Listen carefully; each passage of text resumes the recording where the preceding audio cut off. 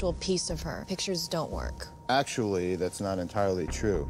My people believe that a photo can capture someone's soul. I thought that you were Jewish. I'm Cherokee on my dad's side. Wait a second. If a picture can capture a soul, what about a movie?